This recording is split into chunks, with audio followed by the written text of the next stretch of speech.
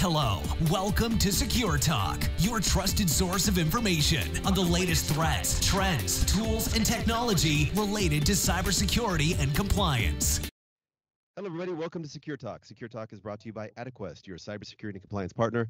My name is Mark Schreiner, and I'll be your host for this episode of Secure Talk. Today, we have uh, a, a special episode because we're going to be looking at security from a slightly different context. We're going to be looking at digital security from the context of digital engagement security um, or engagement security solutions. And we're going to be talking with Kathleen Booth, who is the VP of Marketing at Clean.io. Hey, Kathleen, how are you today? I'm great, thanks, Mark. How are you doing? Pretty good. It's uh, I'm in Seattle, and we are experiencing experiencing what we would call a heat wave. It's in the in the 90s today.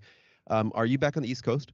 Yeah, I'm based out of Baltimore, Maryland, and it has been really hot here, but today it is in the 60s and pouring rain. So I feel like we've somehow swapped normal wow. realities. Yeah, juxtaposition there. Um, you know, you've been in with uh, uh, with Clean.io for a while, and you've also been in the marketing space prior to uh, uh, to Clean.io. You spent about 13 years in digital marketing.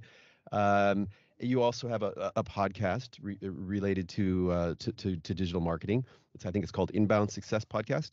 That's correct. Yeah. So, you know, it's interesting because a lot of times we look at security from, you know, a security engineer's perspective, intrusion detection, uh, from, you know, malware or phishing threats. But you, you in your firm are out there helping organizations with something called digital engagement security. What exactly is that? Yeah, great question. And it's definitely a term that I think a lot of folks haven't heard, but hopefully will increasingly uh, be talking about because there's a real gap. You know, when it comes to cybersecurity, um, I guess I have a, a, sort of unique perspective because I, as you said, I spent the bulk of my career in marketing and I uh, owned a digital marketing agency for 11 years. I had at the time, I think it was five or more uh, clients that were in the cybersecurity sector, which was my first exposure really to cybersecurity. And then uh, since that time, since I exited, I went on and, and have been the in house head of marketing for a number of companies, some of which have been in cyber. So I, I, am this marketer who's had a lot of exposure to cyber, and it really has opened my eyes. And and Clean.io, where I am now, is really the first company where that I saw that was bringing it all together. And that's one of the reasons I came here. And so, really, what digital engagement security is all about is recognizing the reality that we all know is is happening which is that we're in this this massive period of shift where historically most of the engagements that we as businesses have had with our customers our users our audience whatever term you want to use to describe the people that you interact with as a business most of those engagements have happened historically in the real world. So it used to be all about when somebody comes into your office or when someone enters your store, what impression do they get? You know, is their experience a good one? Is it a safe and welcoming environment? Um, and you know, you had a lot of control over that when it was in your physical space that you owned and operated. But as we've shifted to this online world, and and more so now than ever because of COVID, you know, that has that's really sped up the move to e-commerce and and you know the way that businesses look at, at how they're going to interact with their audiences online more so now than ever these engagements are happening in the digital realm. And so whereas before you had a lot of control over the experience that someone had when they walked into your office or came into your store now it's all about what's the experience they have when they come to your website. And you know because i'm a marketer I look at it through a marketer's eyes and we marketers have always been told the your website is the property that you own. Your, it's your digital owned property. And, and so that makes you think as a marketer that you have complete control over what happens on your site. But the reality could not be farther from that. You really don't have complete control. And, you know, I'm probably not telling you anything you don't already know, but the way the modern internet works um, and the way websites are built, we have a lot of third party code that runs on our sites, uh, whether that's code we allow into our sites or code that comes there, whether we allow it in or not. And it has a big impact on the user experience. It can have a big impact on your revenue, on your brand reputation. And so, digital engagement security is all about securing those points of digital engagement that we have with our customers, our users, our audiences in the online realm to protect our brands, our user experience, and our revenue. Thank you. That was a, a lot of information uh, and very and very helpful. Um, can you give some examples of third-party code uh, that would be, you know, built into uh, somebody who's, you know, tra- trying to transact business online? Sure. So so there's different categories. There's what I would call um, trusted, untrusted, and malicious code. Um, so trusted code is the code that we put on our own websites. And so, you know, I, I used to own an agency that built a lot of websites and and you know in this day and age you you tend to build a site on some sort of a platform whether it's a a WordPress or uh, if you're in e-commerce, it might be Shopify or Magento, or maybe you're building it on an Adobe property. Usually you're building on some kind of a content management system that already exists. And so you know that that is code that you don't control but it is trusted. You've chosen to build your website on that platform. Um, and then there might be other plugins that you put on your website such as google analytics. That is a you know third party piece of javascript that you put on your website um, and you trust that code. Those are some examples of trusted code. Then there's untrusted code which is code that you put on your website that maybe you don't know as much about. So a lot of these website platforms have vast plugin ecosystems. You know, WordPress being a great example. There's millions of plugins that you can choose from when you build a WordPress site. You know, and let's say you want to feed your Instagram feed into your website. Um, you know, you go into a marketplace and you you ha- you look at reviews and you have to kind of take it on faith that what you're getting is going to work but also isn't you know going to provide some backdoor into your site for somebody who wants access or isn't going to mess up the user experience. And so that's like untrusted code. And then the other form of untrusted code is in the form of what client side injections. And so that's kind of a fancy term but it refers to any code that comes in through the person who's visiting your site. So for example, what a lot of marketers don't realize, and I didn't know this until I came to work here, is that when you add a browser extension to your web, your internet browser, whether you're using Chrome or Safari or Edge or, or what have you, when you add a browser extension to that browser, it has an elevated level of permissions to operate and, and potentially change things on your web on a website that you visit. So, you know, for example, as a marketer, one of the browser extensions that I use is um, called Color Picker. And literally, it just lets me go onto a website and I can put an eyedropper using my cursor on any element on the page, and it'll give me, it reads the code on the page and it tells me, you know, what the hex code is for the color. It's a really niche use case, but it's able to see the code on the website. Um, and there are plenty of other examples. One that we deal with at my company is, is coupon extensions, for example. Lots of shoppers use Honey or Capital One Shopping. They don't just look at code on your site, they actually inject code into websites. So if you're a shopper and you have it, and you go to uh, an e-commerce store on the internet and you put a bunch of items in the shopping cart, this extension will pop up in your browser and say, Do you want us to test coupon codes and see if we can get you a deal? And if you click yes, it will auto inject all the codes it finds into the promo code field at checkout until it finds the one that gives you the biggest discount. And so that's actually injecting code. Um, wow. So so let me ask you this. I mean, if if you're going to go in and advise somebody in terms of their e-commerce site, and you just talked about three types of third-party code there, yeah. Um, you know, where do you start, and and and how do you figure out? Okay, yeah, basically, where do you get where do you get started, and and how do you figure out if if their site is safe and if the code that they're using is is is is, is safe as well? Sure. And I'll just make one note before I answer that, which is there is that last category of code, which is malicious code. So I talked about trusted and untrusted. Malicious code is actually like what it sounds like. It's code that is designed to do something nefarious on your site. We think of it as malware. Um, you know, that's the common name that it's known by. Everybody understands what that is. So with that being said, you know, what what we what I would say people should look at and how we advise customers is really um, you know, you need the first step is awareness, right? You need to understand all the code you're putting on your site because there is a lot of code we put there ourselves and you need to do your homework on where it's coming from, who's making it, has it been vetted, you know, what sort of security provisions are put in place, how often is it updated? Because that's the other problem. This isn't a one-time thing where you put the code on and then you forget about it. You have to make sure that they're updating it and patching it. Um, you know, there's there's that element of just doing your homework. And then I think even more important than that is is on an ongoing basis really having a keen eye on your website performance data and looking at everything from site latency because a lot of time third party code will will slow down your site. And that's the, one of the first indicators is if your page load times slow down you might have a problem. Um, but also looking at all the different business metrics you track through your website. So i mentioned the example of coupon codes and oftentimes people don't realize they have a problem with those sorts of browser extensions unless they're, you know, watching closely how their codes are used. And if they see a sudden spike in usage, that's usually a tell that they have a problem with a coupon code. Um, on the other side of our business, we help protect large online websites against malvertising, which is malicious ads. So that would be that that malicious code.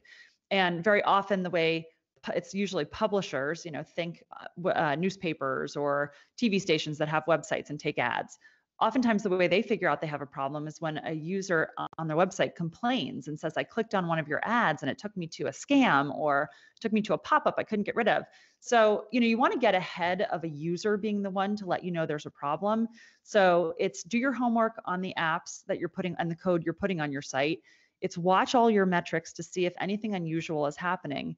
And then I would say third, the last, you know, piece of advice is there are a lot of tools out there obviously that you can put on your site. We're one of many. I'm not going to, you know, sit and plug my solution, but we're one of many options that are affordable that you can invest in that will monitor a lot of this for you. And so, you know, there there's really very little excuse not to do something about it. The issue tends to be that marketers own the website and, you know, as a marketer myself, Right. Uh, marketers don't think that they have any responsibility for for security, and that's really the biggest problem. Is it's it's recognizing that you have ownership over that. So, so how do you um, structure that conversation? I mean, when you go in, I mean, I, most of the companies we work with, they have, you know, a, a CISO uh, or um, uh, security engineers or a security team. Um, we rarely meet with the marketing team people. Uh, how do you, I mean, how do you start that conversation? Yeah, I mean, what I usually talk about is first of all that, you know, recent data indicates that marketers now have larger IT budgets than the IT departments at many companies. You know, if you think about the tech stack that supports marketing, it's often pretty substantial. Um, and so that's first. If, if you're controlling the bulk of an organization's spend around technology um, and IT, you have to take some ownership over it because you you inherently are a point of vulnerability for the company especially because so many of the applications that we as marketers use are cloud based and therefore provide an easy entry point for somebody who wants to gain access to you know sensitive business information pii et cetera. Um, so that's number one we have these budgets we're spending on tech we need to take ownership for for the implications of that spend number two though and this is really you know you'll notice we talk about it as digital engagement security and not cybersecurity and the reason is that marketers hear the word cybersecurity and their eyes roll into the back of their heads. they don't. That's, that's they don't not my job. That's not my job. Yeah. We got somebody else doing that, right? Exactly. la la la. You know, I don't want to talk about it. And so, so when we talk about it, we talk about digital engagements and, and we really have to focus on what's in it for me. And this is with anything. Um, and what's in it for marketers is that if you don't take ownership over this and if you ignore it, you run the risk of hurting three things which go right to the heart of a marketer's job. The first is brand reputation. The second is user experience. And the third is revenue.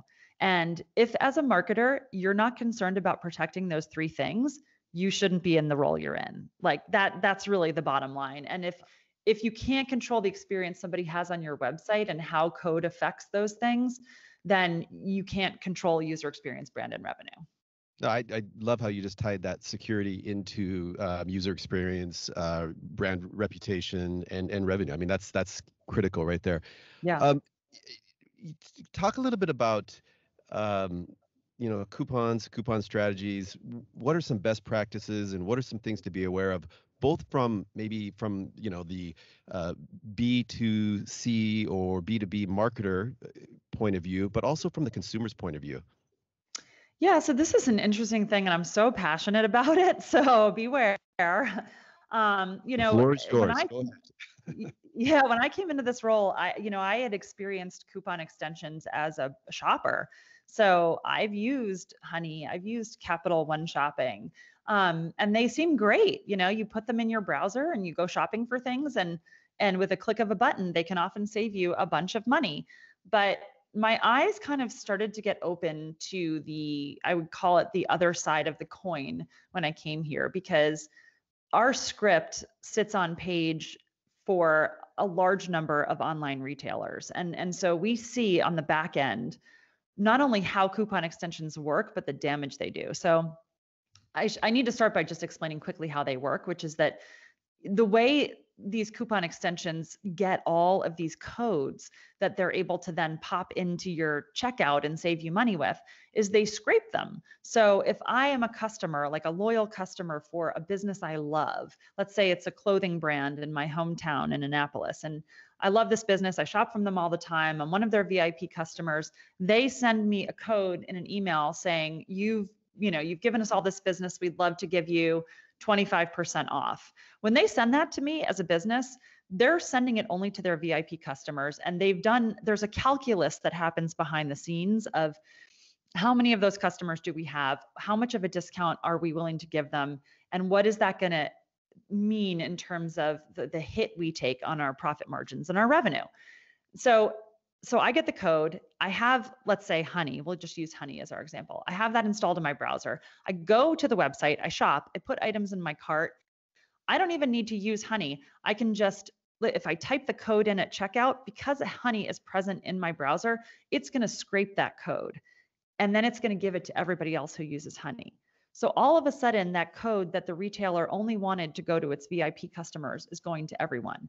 That's is just that, one example. That, that, doesn't even sound legal, actually. But uh, I'm sure I'm sure technically that there's a workaround on that. But that you know, it's I guess it's like it's certainly um, questionable. And where it gets really dicey to me, and where I start to get fired up, is we see a lot of the codes that people are attempting using these extensions, and I've seen codes like military hero 20, a frontline responder 30. I've seen employee discount codes.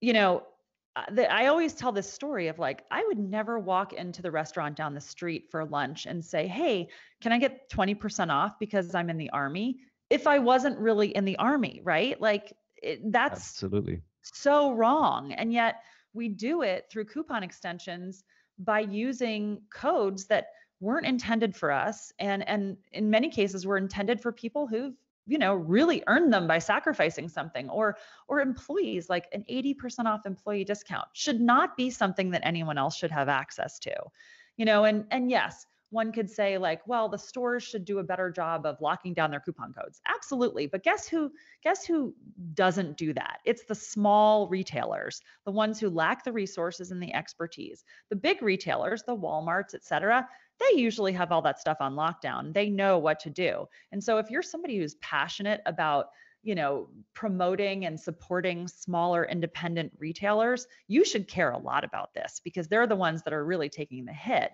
and so that's my my sort of ted talk on on why shoppers should care but on the retailer side it's a big deal for a couple reasons. One, obviously, as you can imagine, you're going to take a big hit in your margins if you don't control this more effectively.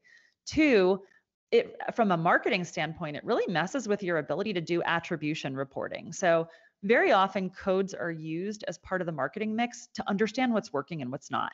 So I might decide to advertise on a podcast to promote my product that I'm selling in my e-commerce store and I might give out a promo code. And in theory, anybody who uses that code is somebody who's listened to the podcast. And so then I know, well, that podcast ad worked or it didn't. And I can make a decision about where to put my future marketing dollars based on that.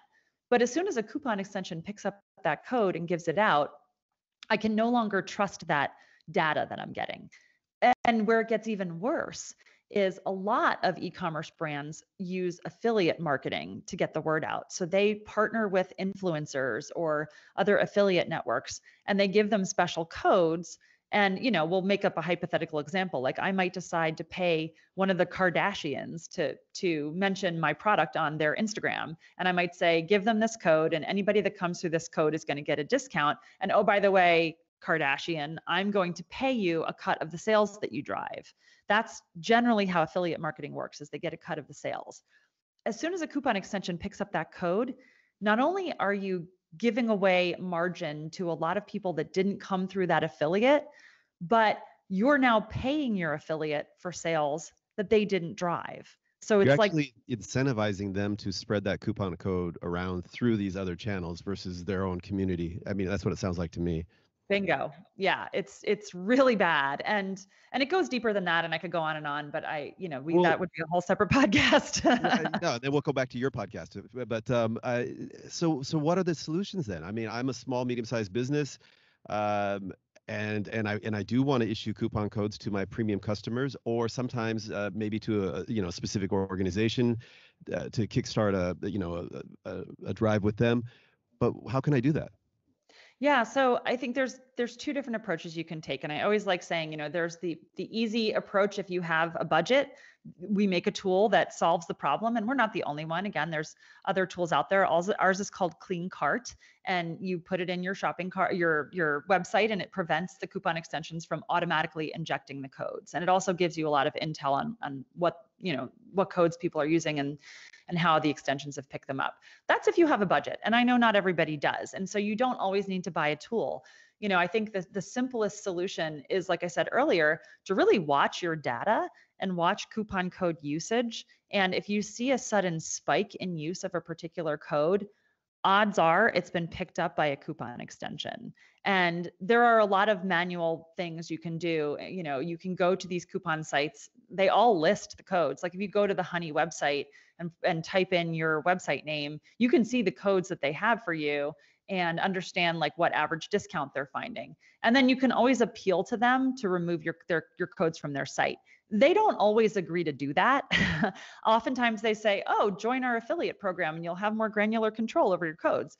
What that basically means is they're twisting your arm and saying, "Join our program so that then you will have to pay us when we drive sales to you and in doing so we'll give you a little bit more control so it's it's frustrating it's a really frustrating situation and we're trying to help solve it Well, aside from the kind of borderline ethical issues there for a consumer using a code that wasn't really intended for them, but they go ahead and use it, um, are there any security concerns for you know consumers who are you know using these coupon services or that have the um, the extensions on, their browsers and they're, you know that are tracking their activities? Have, has there have there been any you know any attacks or uh, compromises that that people should be aware of? i haven't necessarily heard of like attacks or compromises where pii has leaked but but there is a lot of talk it, it all depends on how much you care about your privacy because so honey is a great example honey was purchased by paypal for 4 billion dollars Um, the reason that PayPal paid that much for Honey is not that Honey makes a ton of money. I mean, it makes it makes a good amount of money. PayPal was buying data, and what they were buying is all of the data about every place that you as a Honey user shop, how you spend your money, where you spend your money. And they're a payment processor. So, you know, all of a sudden PayPal has this ability, this massive ability to triangulate how much you're spending, where you're spending it. Um, it's if you care about data, I think that's that's the other thing you should be worried about. Uh, It is getting pretty spooky. I mean, I, I can go to Google. We can all go to whatever you know browser of choice, and you know I'll do a search for T-shirts or or whatever it is, and then instantly when I go to Facebook or wherever my next site, I'm getting bombarded with ads for exactly what I was searching for, right?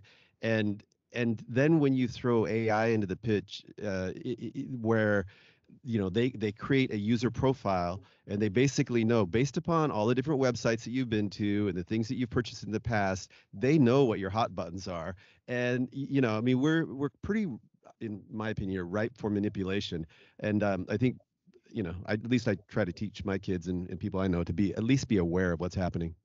Well, and it's even worse if you think about the uh, Honey's competitor, which is Capital One Shopping. It used to be called WikiBuy, and much like PayPal bought Honey, Capital One bought WikiBuy. And when you think about what that means now, Capital One Shopping, again, it can see where you're spending your money, how much you're spending, and exactly what you're buying. But Capital One, if you also use their credit cards, it can see your spending, you know, habits there. If you have your bank accounts with Capital One, it knows your net worth. Like it knows a crazy amount about your individual financial situation and spending habits. Yeah, it's um like I said, it's getting it's getting kind of spooky. yeah. but uh well, hey, let me ask you this: a couple more questions here. Um, let's say that you you are um, you know you're a new CMO and you're you, you're stepping into this organization you're doing a lot of marketing online i mean everybody is these days i mean i, yeah. I, I don't think you know so so so what what are, what are the first things that that you, you would do and from the the context of security and possibly firming up your uh, you know your discount code strategy yeah. So I think the first thing I tell all marketers is just honestly start by learning a little bit about cybersecurity in general. And there are so many good courses and training things out there. You know, the US government's um, CISA has really good resources on its website that are vendor agnostic, where you can learn even basic terminology and get an understanding of, of fundamental cyber principles. Then there are also a lot of like training providers that you know i think more and more companies these days are, are making their employees go through basic cybersecurity awareness training which i think is really positive. So as a cmo coming in if your company hasn't put all of that in place take the initiative and do some of it on your own so that at least you are more cyber aware. That's number one. Number two then and hopefully to some extent you're doing this already it's take an inventory of your tech stack. Understand every piece of software um, every SaaS subscription you have, catalog it, you know, do it in a spreadsheet, but then take it a level deeper. You know, I talked about the website and how you might have plugins and little scripts added to your site. You really need to understand all the different pieces of JavaScript and third party code that are operating on your site. And the good thing is there's plenty of tools out there that can tell you that really easily. Like, you know, like BuiltWith, which funny enough is a browser extension. um, you know, and so it is another piece of third party code. Sometimes they can be used for good and not evil. Um, but but catalog it all and then do a little, you know, whether you do it or have somebody else do it, try to do some homework on, you know, have you really vetted all of those different providers of that code? And are there any in there that you don't feel confident about? You know a great example is people build a lot of word uh, websites on wordpress and i think it was just two years ago the us government released a big advisory um, that there was a, a, WordPress theme sold through the Envato marketplace, which is one of the most common trusted WordPress marketplaces, that was actually malware. The theme itself was built by somebody who built it expressly for the purpose of harvesting personally identifiable information, payment information. And that theme was in use by, I want to say, thousands, if not tens of thousands of websites around the world. You know, you yeah. You got to well, do your homework. exactly, and when you when you buy a theme from a trusted, uh, you know, marketplace like Envato, you, you pretty much, I guess, you assume um, which you know you should never do, but you, you do assume that it's already been tested and and um, it is safe. But uh, that's the problem. Well, let me ask you. I mean, that was some really good advice. But where where do you go to stay up to date and informed? So I think there's there's two things. One, um, I do advise everybody to have some sort of either if unless if you don't have a CISO in house who's really on top of all this, and a lot of companies don't, find an outsourced provider that can help you whether that's a managed security services provider or you know whether that's the IT firm that that helps you with your your network. Um, find somebody whose job it is to stay on top of things for you and and sit down with them and explain what you're trying to accomplish and see if they can help. Um, so so I have resources like that but then I also you know do monitor. There are there are alerts that come out from I think it's US CERT I'm digging back into my cyber memory here that publishes alerts on like major breaches, and I do try to monitor that. And, and the tech press in general, I try to watch. Um, but again, it's for me, it's first and foremost, it's about watching the data. As, as soon as I see a red flag, has my site slowed down? Am I seeing a, an uptick in a certain metric? Those are usually the indicators that tip you off that something's wrong. And then what about the from the context of the from the marketing context in terms of, you know, marketing and and security? Are there any industry publications that, that, that you, you know that you look at in terms of oh hey here, here's some new best practices related to uh, coupon codes or here's some here's some concerns related to uh, you know uh, browser extensions etc. I wish I could say there was. And and this is I often get asked when I'm interviewed, you know, what my predictions are for the future in marketing and my prediction is always that I think we're going to see like a, a an industry crop up that is around marketing security or what I like to call MarSec. Um, that doesn't really exist today and so there's there there are places here and there around the internet that sometimes talk about it i mean we we publish a lot of this on our blog, but there are not there is not a definitive resource at this point, in my opinion, for that topic. Unfortunately. I, I would tend to agree with you. There's a huge opportunity there because if you if you take the security side and then you kind of uh, look at the data protection and all the requirements, you know, for example, with GDPR and HIPAA and everything else yeah. and, and, PII. Um, I, you know, it, it's a huge part of any CMO's or any marketing team's job is to protect that data. So um, I, I, agree with you. Hey, uh, Kathleen, one last question. I know that you do a podcast, uh, the Inbound Success Podcast. Can you tell us a little bit about that?